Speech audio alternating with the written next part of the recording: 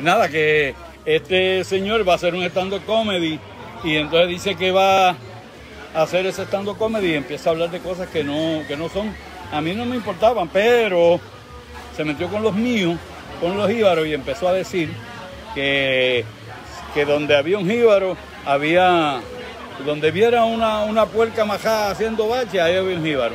Que donde viera una pantaleta y unos calzoncillos un alambre, ahí había un jíbaro. Y yo dije, no hombre, no.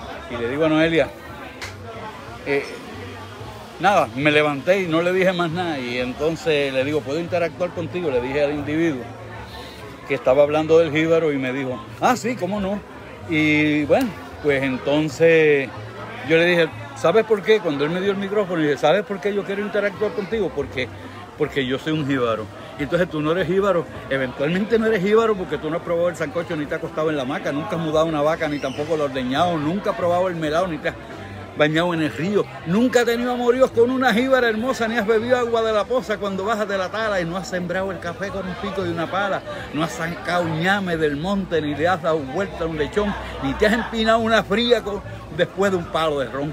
No has cantado un aguinaldo, ni has bailado una mazurca, ni en un velorio en la aurora has formado una tripulca. No has visitado tu parroquia para una misa de gallos y después irte a un rumbón, ni te has bebido las lágrimas un sábado de resurrección.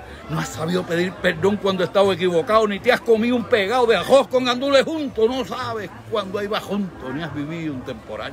El que quiere mi terruño sabe lo que estoy hablando, por eso entiende muy bien lo que te estoy versando. Y el tipo se cayó. ¡Linda!